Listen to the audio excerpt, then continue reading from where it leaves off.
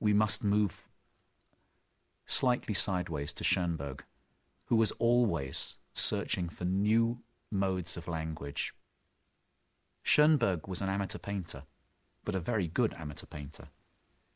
And a lot of his images have all the claustrophobic power of his best music. But of course, paints on canvas can slide into each other in a way that orchestral colours can't always.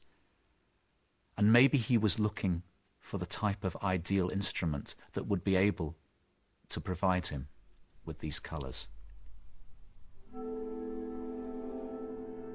In the third movement of his five orchestral pieces, he was trying in some ways to prove a point that it would be possible to absolutely mirror the technique of painting in music, and that one could have a single chord which would develop not by changing its note, but by changing its orchestration, so that one somehow pulsed in and out of the sound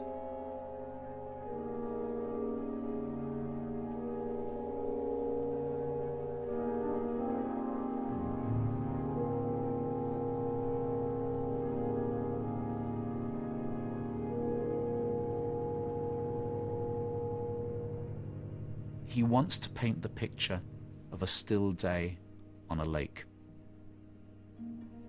And orchestrally, he's giving us a picture of the water and the type of eerie stillness.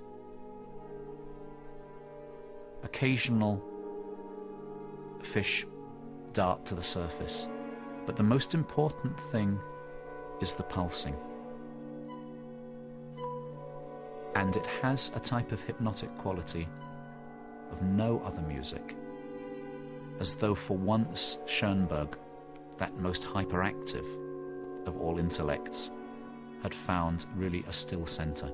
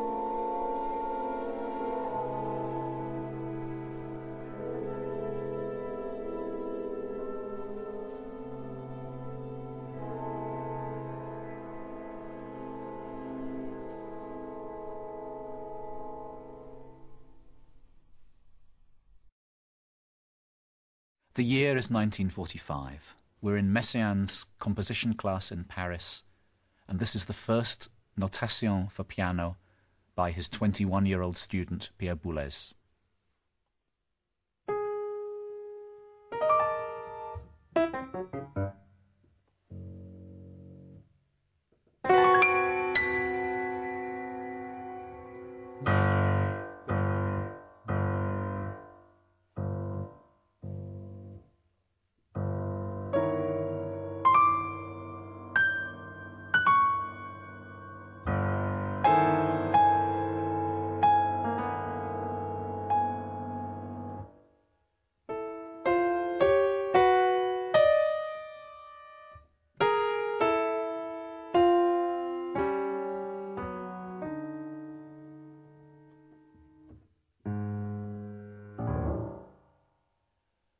Boulez has spent a large part of his life repolishing, changing, adapting pieces.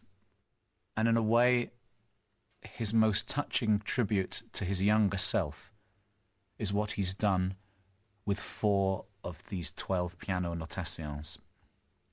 When he wrote these piano pieces, he was not only under the sway of Messiaen, his teacher, but had realized that the music of the Austrian composer Anton Webern, with all its simplicity, economy, and crystalline perfection, was going to be the way forward for him. And what he's done more than 40 years later is to not only expand the piece, but expand its possibilities. The orchestral version is the work of a man who has changed, who has become much more mellow, much more humorous, and much more all inclusive of the world.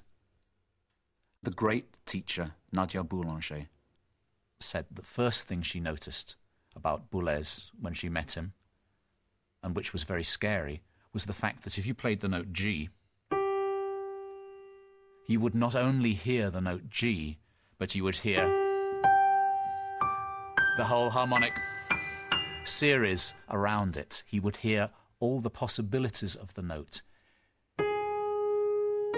If you hear the first two bars in the piano notation, you can hear not only what he's done with the orchestra to these bars, but how he's expanded it backwards, as though it didn't start with this note, but it started with another note in the harmonic series, which is this.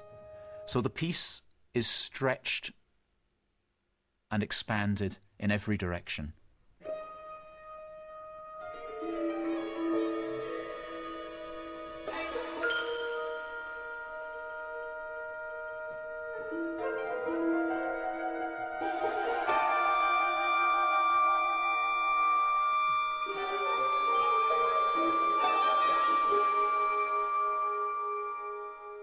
Boulez has written for not only a gigantic orchestra, it's an orchestra which is well over a hundred soloists. Every single string player has his own part.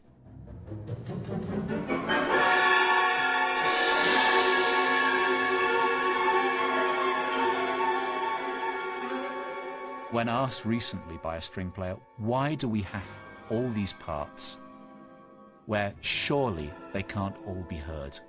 We've rehearsed them for hours, we've practiced them for days. Why have you written them if they can't be heard?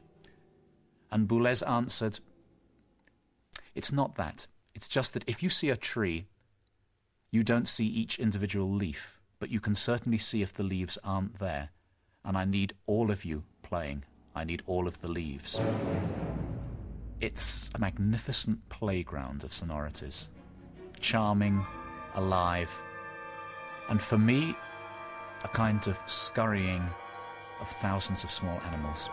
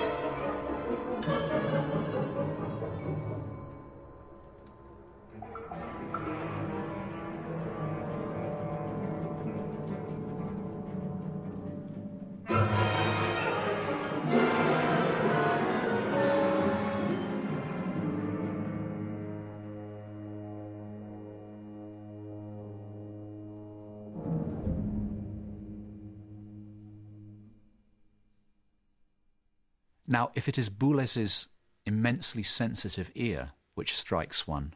It is Messiaen's sense of colour that is most important in all of his music. Messiaen is an absolutely central figure for the 20th century. Not only because he's a great composer, but also because he was a great teacher and spreader of the word. A man of such generosity that when his young pupil, Pierre Boulez, called his Turangalila Symphony brothel music, he was still willing to teach him. Maybe he felt complimented. He had the gift of synesthesia, which means that when he heard chords, he would also see colours. Andre Previn tells a wonderful story about the confusion of the Chicago Symphony Orchestra brass section when rehearsing Turangalila Symphony. Asking Messiaen if he wanted it played any differently, he simply said, Yes, would you play it a little more greeny orange? La première fois que je suis venu à la Sainte-Chapelle, j'étais un tout petit garçon, je devais avoir 11 ans, et ça a été pour moi un émerveillement de couleurs, et je crois que c'est à ce moment-là que j'ai compris que la musique était colorée. Quand vous voyez un vitrail, vous ne voyez pas tout de suite tous les personnages. Vous avez une sensation colorée et vous êtes ébloui. Vous êtes obligé de fermer les yeux. Mais la chose merveilleuse, c'est que les personnages que vous voyez euh, ont des rouges, des verts, des jaunes, toutes sortes de couleurs. Lorsque j'entends un accord, un complexe de son, je vois, pas par les yeux, mais intérieurement, dans ma tête, des couleurs correspondantes. Je vais vous le jouer maintenant en accord parallèle et ça va donner un, bleu-violet avec des petits cubes gris, euh, un peu de bleu de cobalt, un peu de bleu de Prusse, euh, quelques reflets euh, violacés, or, rouge et rubis et quelques étoiles mauve, noires et blanches. Mais la dominante, c'est le bleu-violet. Le voilà.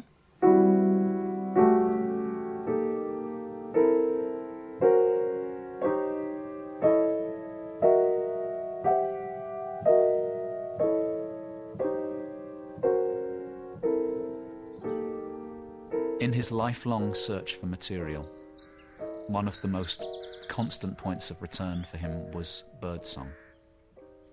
He took birdsong and made it a structural part of his pieces. Now, birds to him are not only sheer sounds of nature, they are sounds